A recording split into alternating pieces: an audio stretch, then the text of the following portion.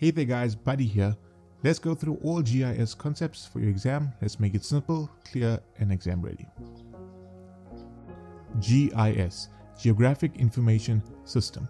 This is a computer-based system that is used to collect, store, analyze and display geographical data to support decision making. Now it is very important that you include these four keywords as that is what your examiner will look for in your definition. Hardware. This is the physical equipment, examples computers and GPS devices that are used to run your GIS software. Software. This is the computer programs and applications that are used to process, analyze and display GIS data. Data. This is the geographical and descriptive information that is used within your GIS systems. These include observations made from monitoring the real world. Now, the second part of this definition is the most important part. People. These are the users who collect, manage, analyze, and interpret your GIS data. And examples of people would be pilots, town planners, and scientists. Spatial data. This is information about the position, shape, and location of features on Earth. Examples would be roads and rivers. Attribute data. This is descriptive data that provides more information about spatial features. Example, the name or population of a city. Database. This is an organized collection of data that can be easily accessed, managed, and updated. It can also be described as an electronic filing system which will enable a person working with GIS to store, modify, and retrieve information. Satellites. These are used to capture images and collect large scale data from space for mapping and monitoring. Aerial photographs. These are images taken from an aircraft that will show detailed views of the Earth's surface.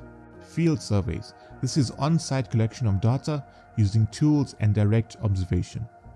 GPS, Global Positioning System. This is a satellite based navigation system that is used to find exact locations on Earth. Remote sensing. This is collecting information about the Earth's surface from a distance, usually using satellites or an aircraft. Resolution the level of detail or clarity that data or an image shows. Vector data Vector data represents geographical features using points, lines, and polygons. Example will be a city as a point or a river as a line. Raster data Raster data represents data as a grid of pixels or cells usually used for satellite images or aerial data. Spatial resolution. This refers to the level of detail in which a map shows characteristics of geographic features such as location and shape. Data input. This is the process of entering data into a GIS system. Data manipulation. This is changing or editing data into useful information for improved accuracy. Data analysis. This is studying or interpreting data to identify patterns and draw conclusions. Data output. This is presenting results in the form of maps, charts, tables, or reports. Data integration. This is combining different sets of data from various sources into one map. Data acquisition.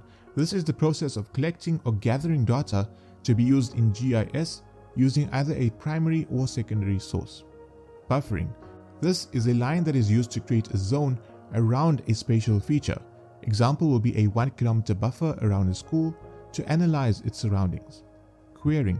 This is asking the GIS specific questions to find targeted information. Examples will be all hospitals within 5 kilometers of a highway. Entity. This will be a real world object or feature that is represented in a GIS. An example would be a road, river, or building. Layering. This is organizing different types of data, examples roads, rivers, land use, on separate layers to analyze them together. And our last concept will be urban planning. And this is using GIS to plan locations for infrastructure like roads, schools, and housing.